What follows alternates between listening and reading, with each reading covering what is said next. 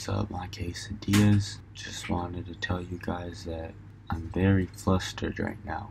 very angry.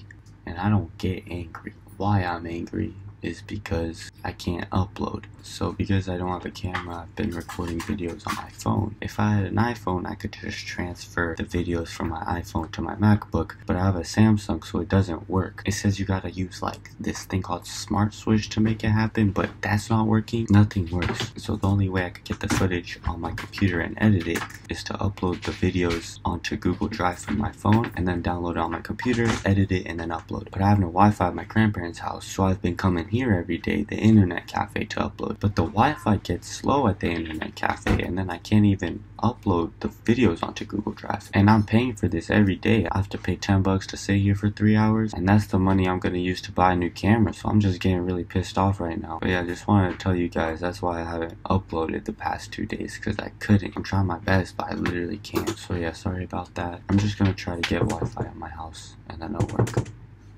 Alright. ちょっと静かにして。ごめん。